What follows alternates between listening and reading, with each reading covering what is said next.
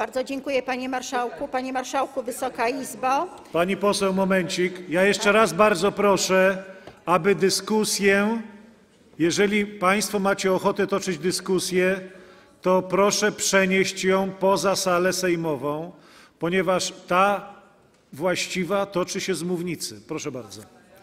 Bardzo dziękuję, panie marszałku. Wysoka Izbo. E, Dokonujecie państwo siłowego przejęcia mediów, co jest całkowicie bezprawne, niezgodne z konstytucją.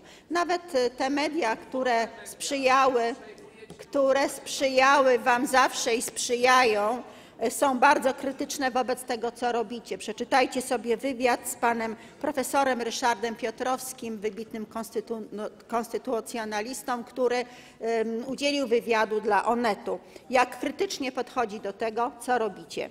Ale szanowni państwo, wracając do budżetu na rok 2024, mam pytanie do pana ministra. Czy i ile środków ponad to, co już było w budżecie, zapisaliście państwo na przyszły rok na leczenie dzieci chorych na raka?